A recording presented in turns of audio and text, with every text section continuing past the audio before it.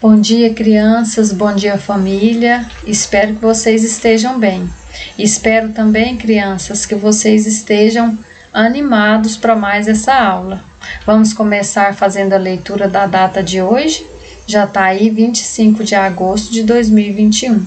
Hoje nós vamos retomar nossos estudos sobre o folclore brasileiro, sobre as lendas em específico então, vamos retomar o conceito de lenda. Lenda é uma narrativa fantasiosa transmitida pela tradição oral através dos tempos. Então, ela tem um caráter é, fantástico, fictício, né? As lendas combinam os fatos reais e históricos com fatos irreais, que são produtos da imaginação humana com exemplos bem definidos em todos os países do mundo, as lendas geralmente fornecem explicações plausíveis e até certo ponto aceitáveis para coisas que não têm explicações científicas comprovadas, como acontecimentos misteriosos ou sobrenaturais. Você sabia que algumas lendas têm lições importantes? Veja só o que o Curupira tem a dizer. Eu sou o curupira, protejo as florestas e os animais dos caçadores. Tenho os cabelos vermelhos como fogo e meus pés são para trás. Assim, as minhas pegadas enganam quem tenta me capturar. Viu só? O curupira nos ensina uma grande lição: que devemos proteger a natureza. Esse personagem do folclore é conhecido como protetor da floresta e dos animais. Então, nós devemos proteger a natureza para que a vida exista no nosso planeta.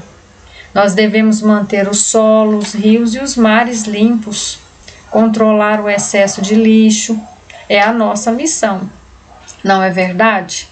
Então, nós devemos é, evitar o consumismo, né, ficar consumindo sem necessidade, comprando objetos sem necessidade. Sempre que possível, nós devemos reciclar, reutilizar e reduzir né, o consumo.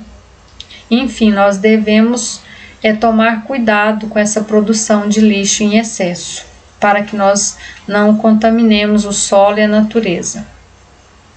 Aqui vocês vão fazer essa atividade referente ao curupira, Vamos escrever o nome do nosso amigo e da natureza? Pinte as letras que formam o nome dele.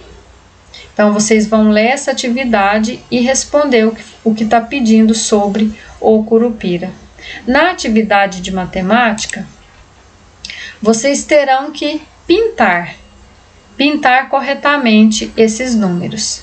Pinte de vermelho o número que está entre o 44 e 46. De amarelo, os números que têm dois algarismos iguais. De verde, cinco dezenas. Que número representa cinco dezenas aqui nessa tabela? De laranja, o antecessor de 50. De vinho, o sucessor de 39. De azul, a soma dos algarismos é igual a 13. De rosa, o dobro de 20. Então, boa atividade para vocês e até amanhã. Não esqueça de enviar a foto da atividade.